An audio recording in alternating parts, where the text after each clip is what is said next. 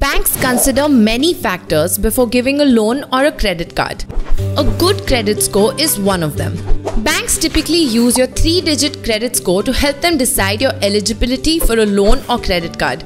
In general, the higher your score, the better the chances of getting approved.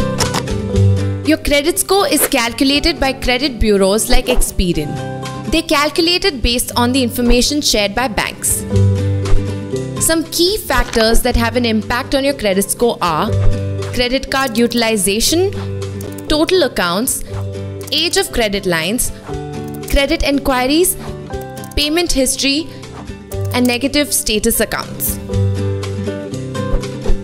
Curious to know your score? You get your Experian credit score for free on bankbazaar.com. Just visit this link or click the free credit score tab on our website. You'll also get a detailed report so you'll know what may be impacting your credit score and how to improve it.